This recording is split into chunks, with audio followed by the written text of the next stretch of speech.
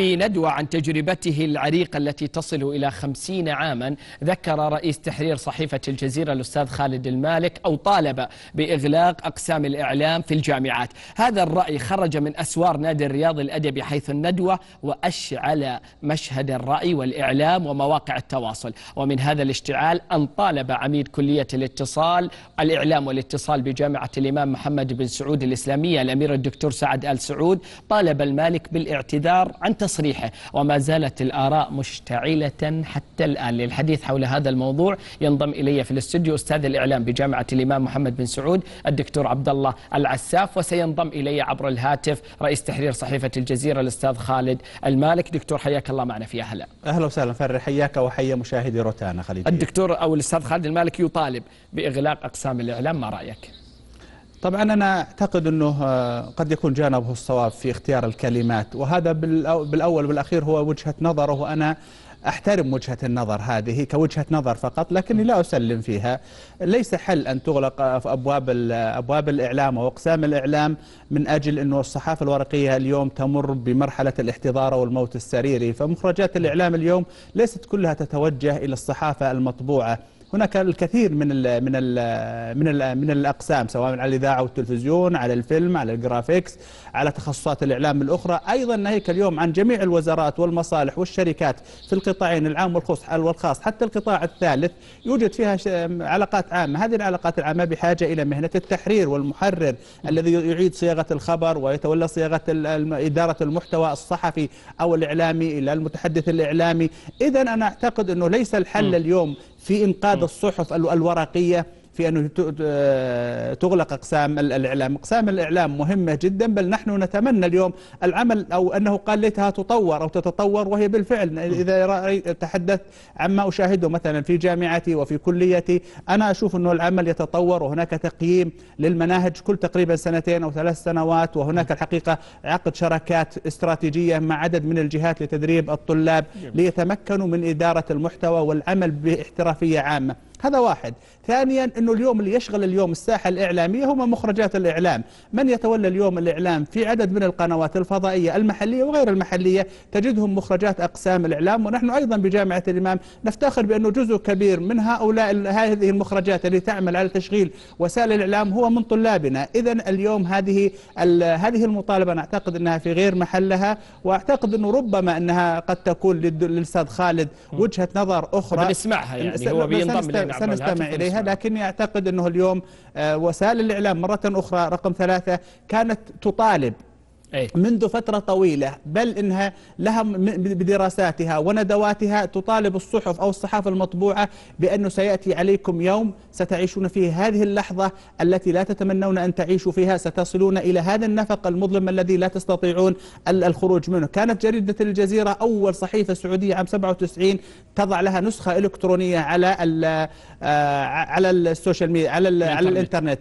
ومع ذلك اليوم لم تطور الصحف المطبوعة بشكل عام لم تضع لها نسخة إلكترونية والنسخة الإلكترونية أو الصحيفة الإلكترونية ليست أنه أنا أضع النسخة المطبوعة نسخة أخرى منها للصحيفة على, على الإنترنت بل يجب أن يكون لها رئيس تحرير مستقل أن تكون أيضا مادتها التحريرية مختلفة إدارتها التحريرية مختلفة.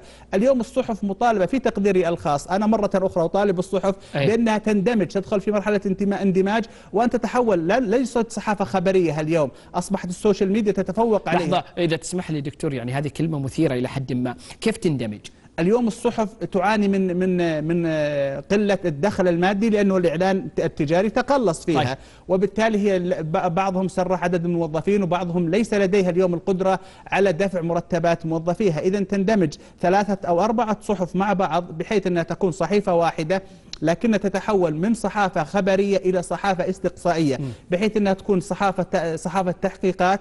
تخرج لنا بكل يوم تحقيق صحفي مثير وقوي عن عن أي مشكلة تعترض عن مشكلة القبول في الجامعات عن مشكلة الطرق عن مشكلة الفساد عن أي مشكلة. لكن هذا التحقيق هو أشبه بدراسة استقصائية لها أبعادها الكبيرة التي فعلا تفيد المسؤول وتفيد المواطن. هل تعتقد أنه, إنه سالفة اندماج صحيفتين أو ثلاث موجودة اليوم على الساحة ممكنة؟ طبعا لنا في السابق كان هناك اندماج في في أي. فترة لما كانت صحافة أفراد ثم تحولت إلى صحافة مؤسسات اندمجت. لكن اليوم في تقديري ما ما أمامها إلا طريق الاندماج وإلا فعلا سيفوتها القطار ستكون الصحيفة الأكثر ملاءة مالية هي القادرة على أنها فعلا تعيش أطول. لن تنقرض الصحف الورقية بشكل كبير جدا ربما تبقى صحيفة أو صحيفتان لكنها لن تبقى بهذه بهذا الحجم وبهذا العدد. اليوم رأينا تقليص عدد الصفحات ورأينا تسريح الكثير من الموظفين بل إنه الكثير من الكتاب كتاب الأعمدة كانوا يقولون اليوم لنا ثلاثة أشهر لم نستلم مرتباتنا. اذا هي تمر فعلا بمرحلة احتضار أو موت سريري بحاجة إلى تدخل فعلا سريع وعاجل لإعطائها اليوم مرة أخرى. إكسير الحياة إكسير الحياة هو عملية الاندماج عملية هيكلتها مرة أخرى لتصبح صحيفتين وثلاث صحف قوية وقادرة على المضي في هذه المرحلة الجديدة. يعني هل هل رأيك في الاندماج يعني ردا على مطالبة الأستاذ خالد المالك بإغلاق أقسام الإعلام اللي أنت أحد أساتذتها ولا لأنه هذا رأي شخصي أنت تتبناه من فترة؟ أحسنت. أنا من من قبل ما أسمع الحقيقة رأي الأستاذ خالد المالك وهو أستاذ كبير لنا كلنا وصديق لكن آه، أنا قبل أن أسمع هذا الرأي هذا هو ال- ال- الذي يجب أن تسير عليه. هذا فعلا كنت أطالب بهذا الشيء قبل أن أسمع هذا الرأي. اليوم ليس أمامها من طريق لتواصل مسيرتها المهنية والإعلامية أو رسالتها إلا أن فعلا تندمج. ثلاثة صحف أربعة صحف. يا أخي اليوم البنوك اندمجت مع بعض. عندنا بنوك لتصبح أقوى لتصبح فعلا قادرة على المنافسة. اليوم أصبح الوسائل التواصل الاجتماعي الإلكترو- الرقمي أو الإلكتروني أو الجديد سميه ما شئت اكتسح الساحة. بل إنه سحب بساط الإعلان التجاري وهو العمود الفقري اللي تغذى منه الصحف إلى الإعلان. أصبح نجوم ال social media اليوم يتقاضون آه، دخول عالية جدا مقابل الإعلان لمدة دقائق. في في السابق كانت تتقاضاها الصحف ال ال قبل ما أطلع الفاصل تتوقع يعني واقعا أو خيالا بنصحى يوم ونشوف الجزيرة والرياض صحيفة واحدة؟ تتوقع؟ آه، أنا أتوقع أنه ربما نشوف الرياض والجزيرة وربما عكاظ اندمجوا وشكلوا صحيفة جديدة لأن لا, لا يكفي أن تكون صحيفتين يندمجان ليس من باب الواقع وليس من باب الترف بل من باب الضرورة حتى تستمر طيب تسمح لي اخذ فاصل. ونكمل حوارنا الأستاذ خالد المالك يطالب ب إغلاق أقسام الإعلام في الجامعات. الدكتور سعد آل سعود يطالبه بالاعتذار واليوم الدكتور عبد الله العساف يطالب بدمج الصحف الورقية. مكملين بعد الفاصل.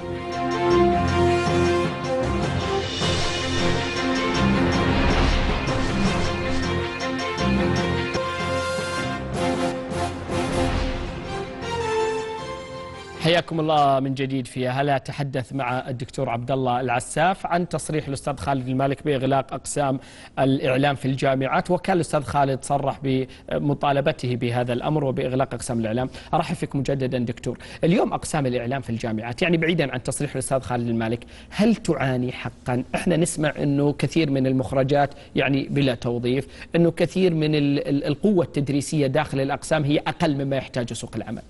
آه هذا جيد. أنا أعتقد بالنسبة لقضية المخرجات والوظائف وتلبيتها لسوق العمل هذه مخر... آه مشكلة يعاني منها الجميع.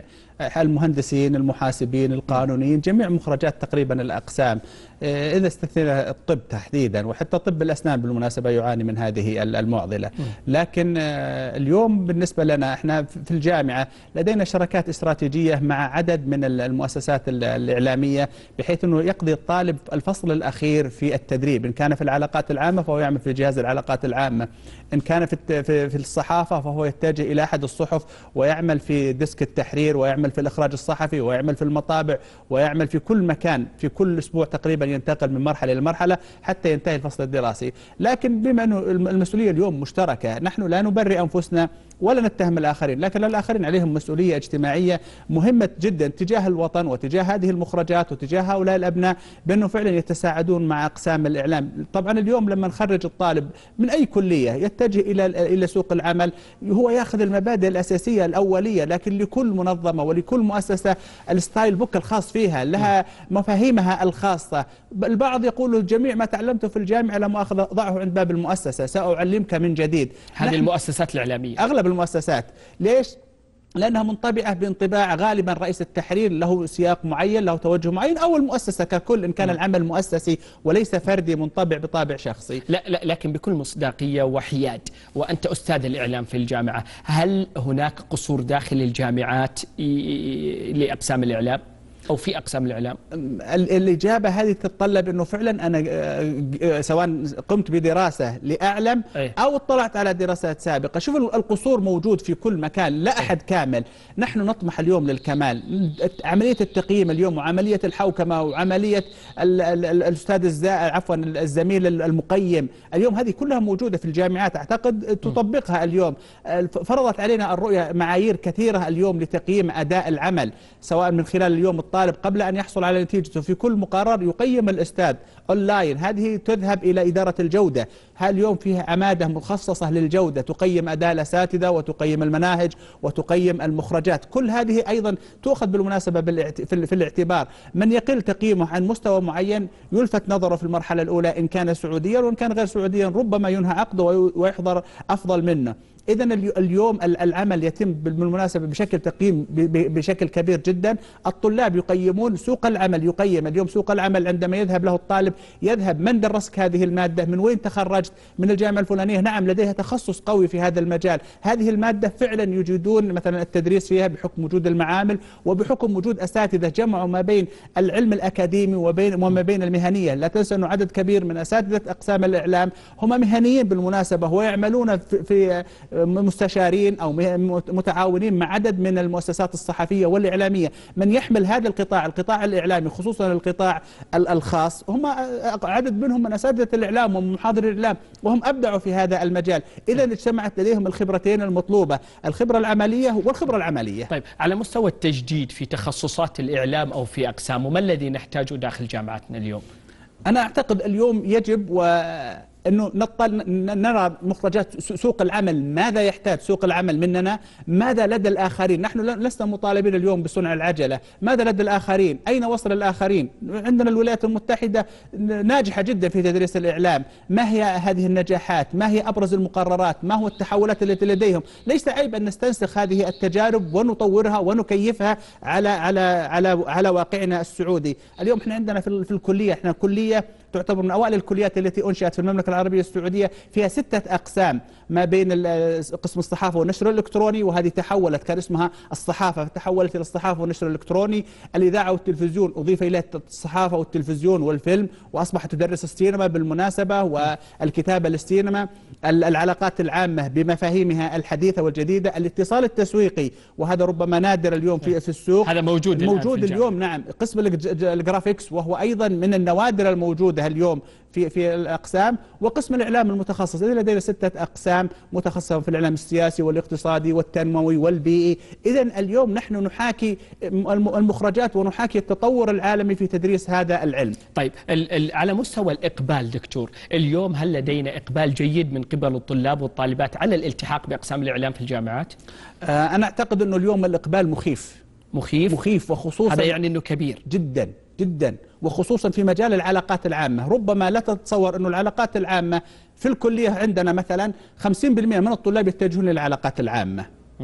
في الصحافة موجود 50%, 50% تقريبا من طلاب الكلية يتجهون العلاقات العامة. طبعا هذا ربما هم يعتقدون أنه هذا أسرع في عملية التوظيف أيه. لأن العلاقات العامة موجودة في جميع المصالح والوزارات والهيئات العامة والخاصة. وال50% وال50% موزعين على بقية الأقسام. لكن لا يصل بالمناسبة طالب يقول أنا فرض علي هذا التخصص لأن اليوم متطلبات دراسة الإعلام هناك سنة تحضيرية أيه. وهناك درجة يفترض أنه يحصل عليها حتى يدخل كلية الإعلام. طيب. طيب آه، إحنا ننتظر بس انه يجهز اتصال الاستاذ خالد المالك. طمنا عن اقسام الاذاعه والتلفزيون. الحقيقة على أفضل ما, ما, ما حال اليوم. أي. لديها تطور بل أدخلت الفيلم أدخلت اليوم صناعة السينما والكتابة للسينما والإخراج السينمائي. اليوم أي. افتتاح بالمناسبة عندنا اتجاه إلى حتى تدريسها للطالبات قسم الإذاعة والتلف... في الإذاعة والتلفزيون هذا التخصص. آه ستتجه إلى الطالبات. اليوم بالمناسبة الطالبات مبدعات في, في الإعلام سواء في الجرافيكس أو في الصحافة أو في العلاقات.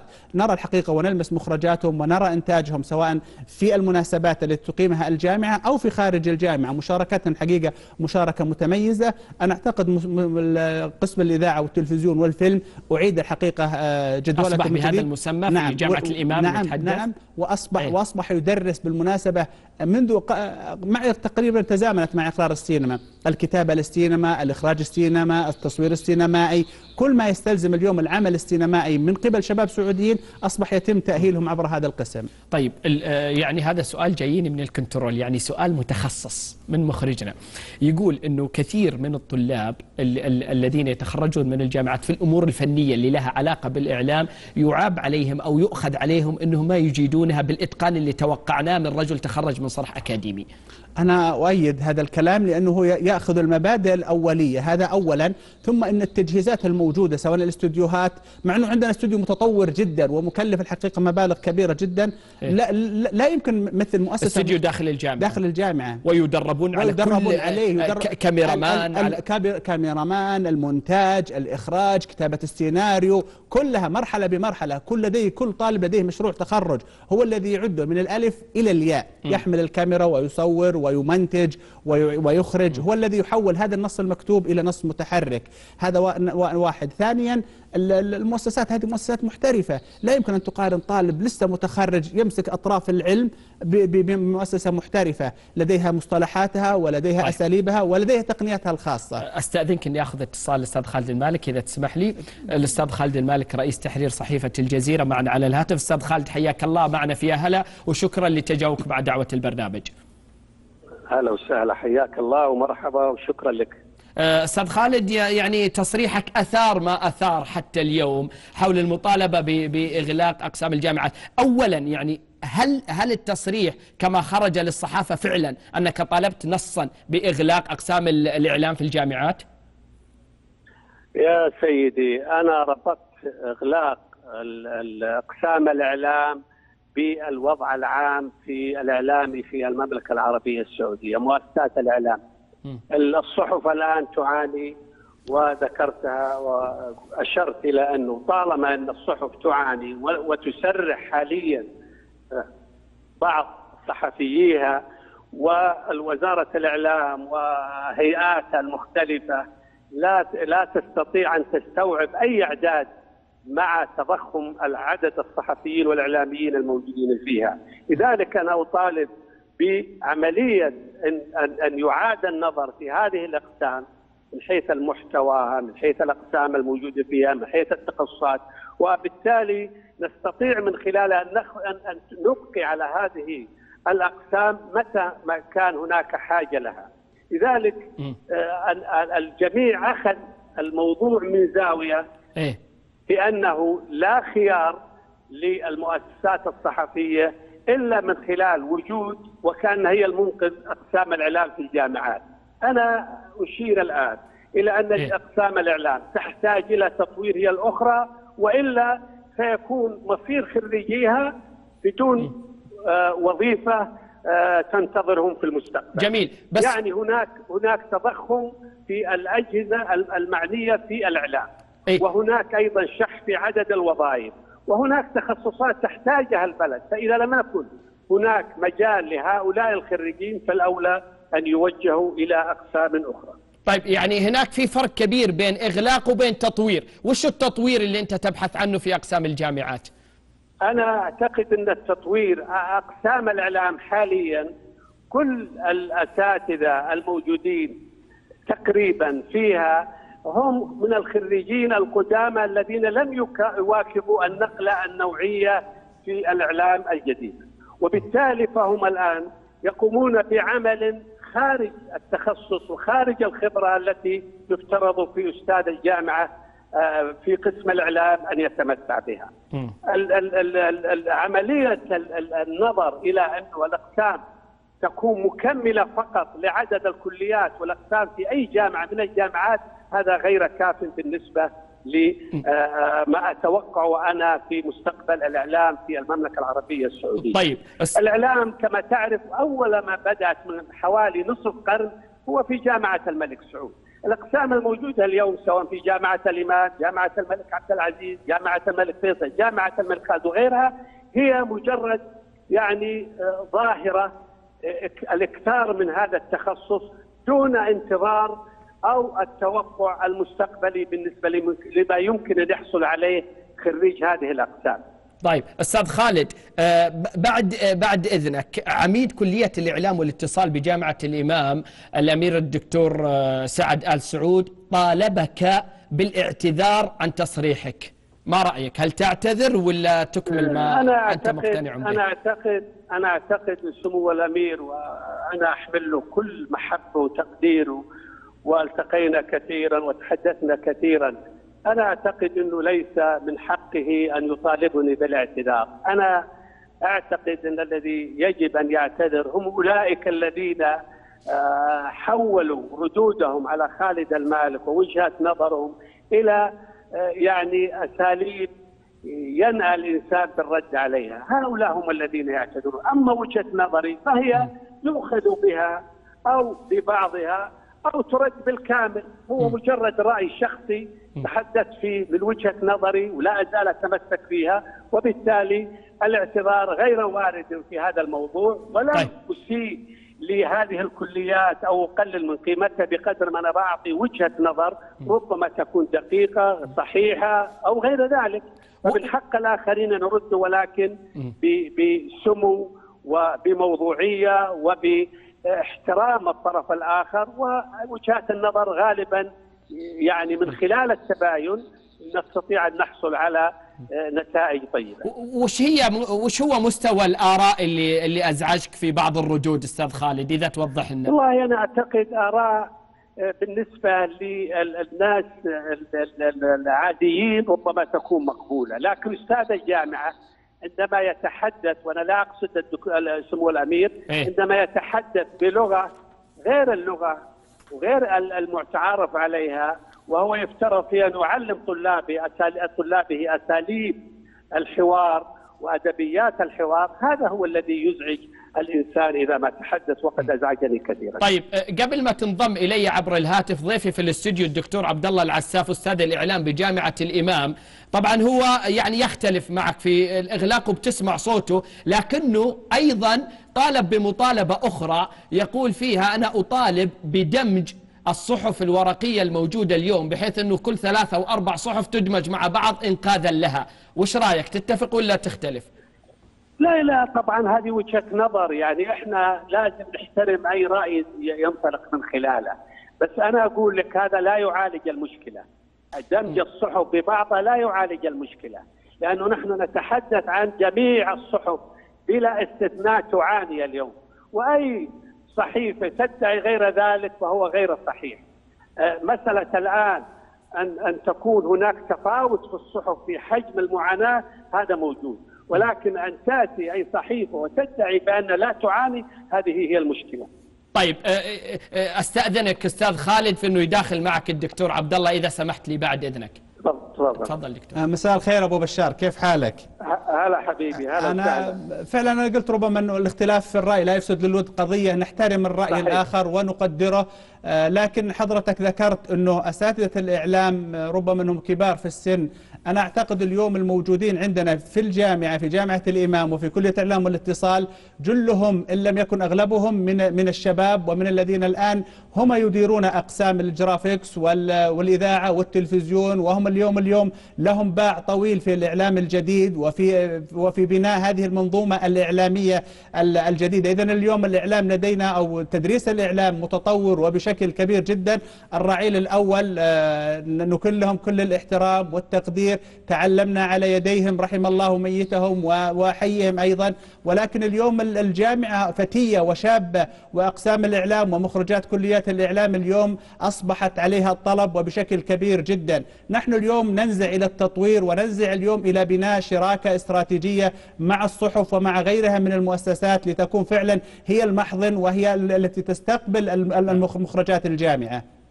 تفضل أستاذ خالد يعني هذا كلام يا دكتور جميل ومفرح وسعيد إني أسمعه بلغة راقية جدا ولكن نحن نتساءل يعني مخرجات ال- ال- الأقسام الإعلام خلينا نفترض إنها واكبت المرحلة الآن الآن نحن نبحث عن الإعلامي خريج الأقسام الإعلام في كل ال- المؤسسات الإعلامية الحكومية والأهلية وين هذا الإعلامي؟ وين هو موجود؟ كاتبا ولا صحفيا وإلا آه، اداريا وإلا في أي صورة من الصور ستجد إنه طال عمرك حضوره جدا ضئيل جدا وأعداده محدودة جدا ونحن نتحدث عن نصف قرن من بدء هذه الأقسام. يفترض أنه الآن هذه الأعداد هي الموجودة هي اللي تتسيد الموقف في وسائل الإعلام. لكن الإعلام كما تعرف هو هي مواهب.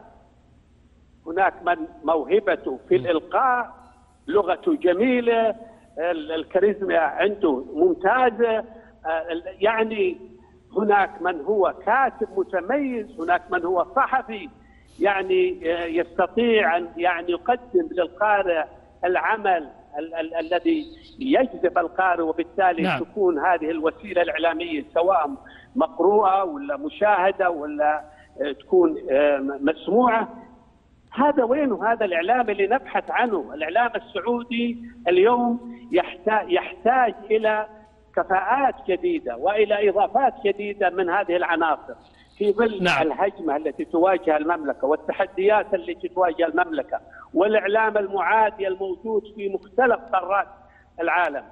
هذا الإعلام لا لا, لا نجده. ويأتون من بعض خريجين الأقسام. إيه. ولا أقول هذا اتهام ولا نجد فيهم الكفاءة. التي يفترض أن تكون متوفرة فيهم نتيجة الدراسة الأكاديمية في هذه الجامعة، في طيب. حين نجد أشخاص آخرين لم يتخصصوا هذا التخصص وبعضهم أيضا لم يعني يكون مؤهل التأهيل العالي ومع ذلك يقدم عمل إعلامي متميز. نعم. هذا هو الموضوع الذي نحن نشير إليه، لذلك الآن امامنا إيه باختصار أستاذ خالد إذا سمحت عشان وقت البرنامج. إذا إذا ما نستطيع أن نطور هذه الأقسام وإذا ما نستطيع نضمن أيضا ان هناك مؤسسات تحتاج إلى خريجي هذا الإعلام أعتقد إنه دعوتي إلى إغلاقها قائمة.